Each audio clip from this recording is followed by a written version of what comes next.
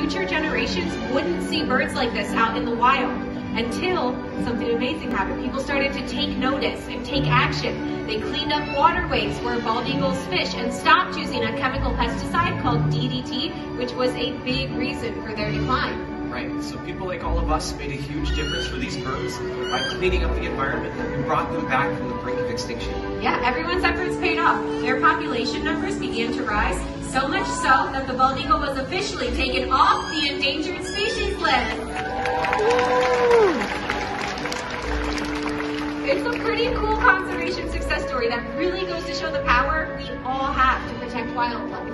That's so true. It's a phenomenal conservation success story, and there's excellent work being done, but many animals out there still really need our help.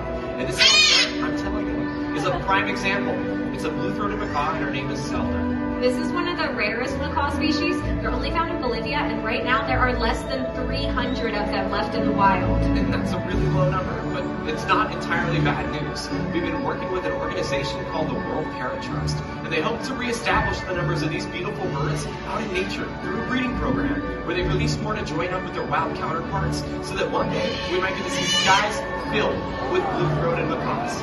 Which would be an amazing sight to see, but it doesn't end there. There are so many birds out there with their own unique stories. Like, check out this bird. This is a harpy eagle, the most powerful eagles in the world.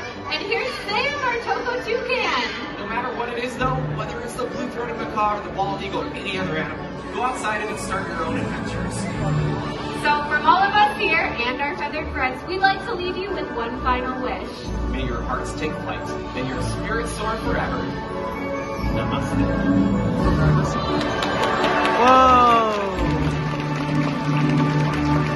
Wow. Thank you all so much. You've been awesome, and we really hope you enjoy the rest of your day at Disney's Animal Kingdom. Bye, Bye, everyone. everyone.